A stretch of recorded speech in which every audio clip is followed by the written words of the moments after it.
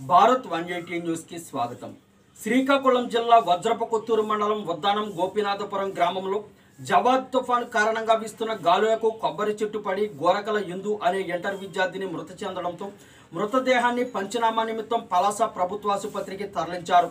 మంత్రి సిదిరి అప్పలరాజు ఆసుపత్రికి చేరుకుని సంతాపం వ్యక్తం చేశారు. మృతురాలి కుటుంబానికి ప్రభుత్వం అన్ని విధాలా ఆదుకుంటుందని మంత్రి హామీ ఇచ్చారు. బాత్రూమ్కి వెళ్ళేటప్పుడు బయటకు వచ్చేటప్పుడు కొబ్బరి చెట్టు పడిపోయింది. పడిపోయి కింద ఉంది. కానీ మాకు తెలియదు చెట్టు పడడం మేము చూసామండి ఇంకా ఆవిడ అన్నది పాపింగ్ బాత్రూమ్కి వెళ్ళి చూడండి అంత చెట్టు కింద ఉంది సార్. చెట్టు కింద ఉన్న తర్వాత రోలో ఉన్నాం. అలాగే తీసుకొస్తాం సార్ ఇక్కడికి. కొత్తకి డాక్టర్లు అంటున్నారు తిరిగిపోయింది అంటున్నారు. మాకు చాలా బాధాకర విషయం సార్.